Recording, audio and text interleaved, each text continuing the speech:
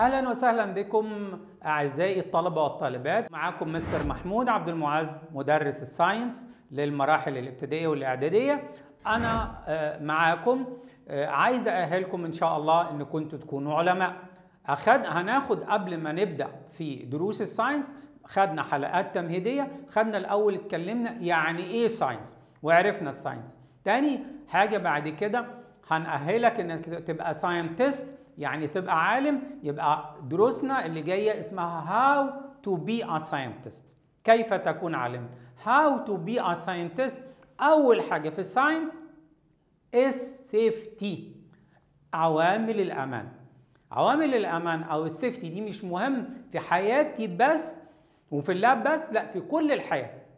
ال teacher بيقول لك اقعد على الكرسي بطريقة لطيفة كويسة عشان to avoid deformation of your backbone. عشان تتجنب تشوه آه، العظم بتاعك أو آه، فقرات العظمية. آه، الطبيب بيقول لك تاكل ده وما تاكلش ده to keep your body system healthy.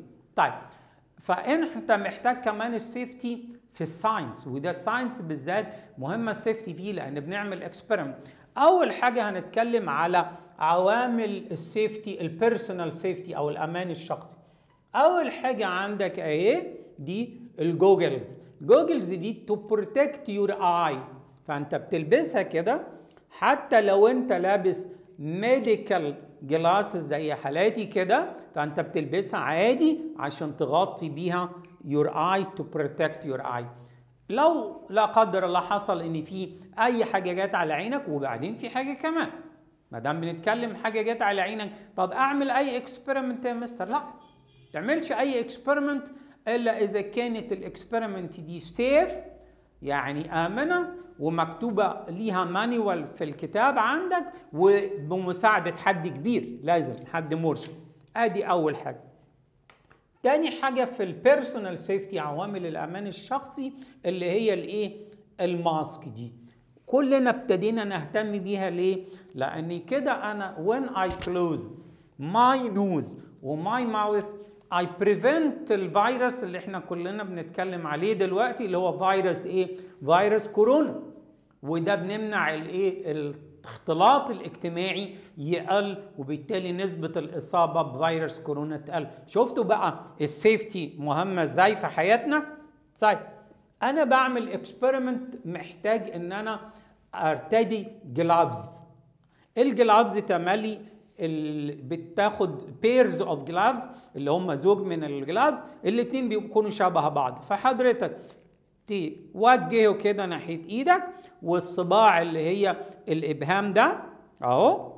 يبقى الناحية دي الإبهام بالمناسبة اللي أنت بتحط بيه البصمة دي أو بياخدوا بيه البصمات يبقى تدخل صوابعك كده بطريقة وبعدين تدخل كل صباع في مكانه. يبقى أنت قدرت كده تلبس جلافز طب الجلافز أنا بعد ما لبست الجلافز هلبس التاني على فكرة عشان يبقى الموضوع عملي أكتر. طيب بعد ما لبست الجلافز واشتغل هتعمل إيه؟ الجلافز never used again تستخدمهاش تاني. لازم أرميها في ال basket عشان أمنع أي تلوث. دي كمان ليها اللي هي ال mask ليها time بعد يوم ولا حاجة لازم تترمى في ال basket ونجيب غير بص بقى ال gloves لو في أي chemical وأنت عملت كده بتطرطش على وشك.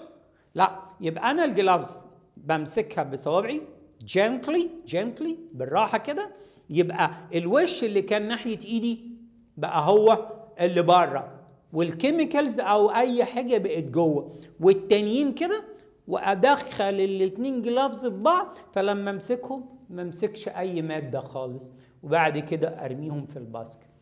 في نوع تاني من ال gloves بيستخدموه الأطباء في الفحص السريري ده لل doctors بس ده بيبقى disposable gloves أو يعني من ال gloves اللي هي اللي إيه اللي ممكن الواحد يستخدمها ويرميها في ساعتها لأنها أرخص.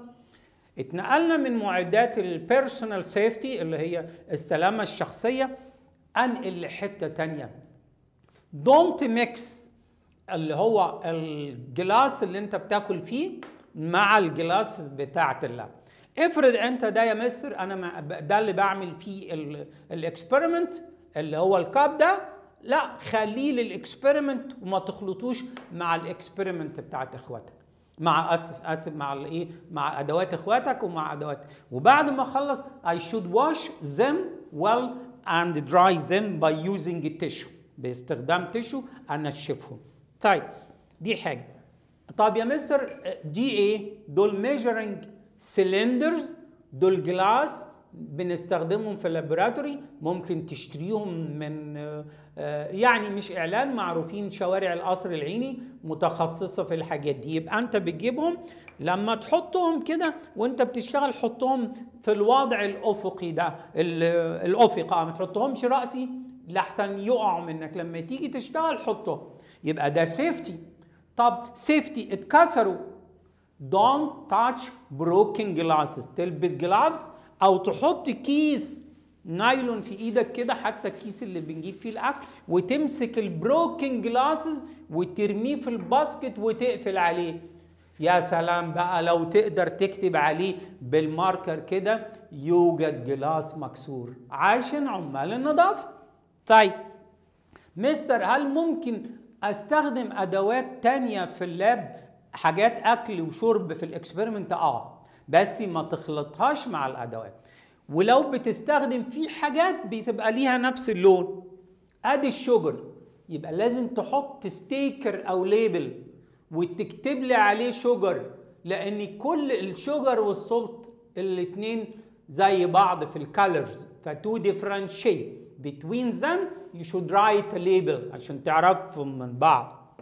طيب يا مستر افرض ما فيش عليهم label انت بيبقى عندك سوليتيب زي ده وبكتب عليها كده sugar وبعدين ماشي عادي كده هاجي قاطعه واجي حاطط عليه العلامة دي كده واقراه. لكم؟ sugar. يبقى انت كل حاجة لازم إيه؟ تحط عليها label لأن ده safety طيب دلوقتي هنبتدي لحاجات تاني في ال safety من أخطر الحاجات اللي في ال safety الآلات الحادة ال sharp sharp tools is a very important issue in safety. أول حاجة لو عندي syringe بيبقى ليها needle ما استخدمش ال needle خالص. بأي حال من الأحوال. أدي needle اهي ما استخدمهاش بيبقى ليها needle كده دي اسمها syringe ال syringe بالمناسبة بيبقى فيه 5 سنتيمتر 10 20 whatever دي لازم I should keep it in a container أحتفظ بيها في إيه؟ في علبة أزاز زي دي. بطرمان المربى العادي أو المخلل. طيب شفتوا دي مثلا أهي؟ دي syringe عادية. لما ابتدي أستخدم ال syringe العادية عايز أفتحها لازم كده أهو. أو الافضل حد كبير يساعدك. وبعد ما تخرجها كده بيبتدي تلاقي ال needle ده ما تستخدموش خالص لأني خطر جدا. هخليه زي ما هو وأرميه في ال basket وبعدين أستخدم ده دي حاجة. الحاجة الثانية إحنا ما بنعملش recycling يعني إعادة استخدام لل syringe. ال syringe لا تستخدم مرة أخرى للحقن. ونفس الحكاية ال syringe اللي جاية من آه لا من حقن مريض ما نستخدمهاش تاني. This is very important issue in safety. طب يا مستر رحت رحلة ومعايا عايز آخد مقص أو آخد سكينة knife scissor أو knife للساندوتش أو whatever. لازم you should put it in a plastic bag like this. دي حاجة مهمة في ال safety دي حاجة طب نفس الحاجة أنت محتاج يكون عندك cutter بس please لا ال cutter ولا ال scissor للصغيرين بيستخدموه. أدي ال cutter أهي بيبقى لها سلاح حاد بيتداس عليه كده يخرج. ف please don't use it please لا است... آه آه يعني خلي حد كبير يعلمك إزاي تستخدمه أو يستخدمه بدالك ولازم you should keep it in a plastic bag like this هل نسيب أدواتنا قدام إخواتنا الصغيرين؟ لا. من ضمن ال safety ساعات في ألعاب يقول لك إيه؟ اللعبة دي مثلا يقول لك four إيه؟ four years old or up لأربع سنين أو أكبر، ليه بقى؟ لأن الأربع سنين مش هيقدر يبلعها. فدي من ضمن ال safety فبيسيبوها لك كده لكن البلي مثلا على سبيل المثال لما تلاقيه بيتباع في المحلات لما تيجي تقرأ يقول لك don't مش لل children below two years اللي أقل من سنتين أو أربع سنين ما يستخدموش. طب أعمل إيه؟ حطه في علبة كده واقفل عليه. شفت كل شوية ال safety آه لا قدر الله لو حد بلعه ده يبقى خطر جدا. يبقى أنا بحمي إخواتي الصغيرين. طيب بعد كده أنا محتاج إيه في ال safety كمان؟ دي electric wire تملي ال electric wire يعملوا لك إيه؟ يجيبوا لك شريط لحام كده دي electric wire دي بس safety للكبار يعني من فضلكم. هنتكلم على ال safety بنقول ممنوع استخدام ال electricity أو ال electric outlet اللي هي ال home electric electric outlet يعني فيشة الكهرباء بتاعة البيت لا تستخدم اطلاقا في ال experiment بستخدم إيه يا مستر؟ بستخدم battery زي بالمناسبة دي battery 9 فولت. انت ممكن تكون اللمبة اللي بتنورها 3 فولت فاعرف انت بتعمل إيه. طب دي بيعملوها ليه يا مستر؟ لاني بيقول لك شريط اللحام ده اهو بيعزل الكهرباء بس برضو إحنا ما بنستخدمش في ال experiment إلا إذا كان بستخدم السلك ده أو غيره أو أي electricity لازم يكون battery ما نستخدمش الكهرباء. دي في بعض ده transformer بيحول لك ممكن نستخدمه في بعض الألعاب يحول لك الكهرباء من كهرباء 220 فولت من 220 فولت يطلع لك بره كده 3 فولت 6 فولت 9 فولت. ده برضو بستخدمه بيكون أكثر امانا بس لازم تجربة مكتوبة وحد كبير بيساعدك. مفيش كهرباء البيت خالص.